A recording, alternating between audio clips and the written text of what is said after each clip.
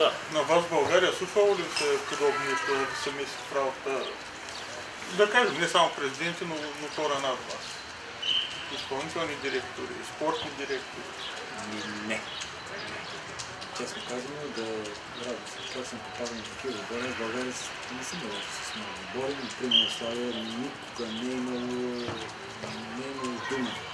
Венци Стефанов в това отношение просто е перфектен. Как се работи с Денис Стефанов? Като един от колоритните български президенти. Уникално, уникално. Значи, пак казвам, ако може да помогне, ще помогне. Никой не е имал служител, който да каже това ще направи, това, нещо за, за играч, това такова нещо никога не е.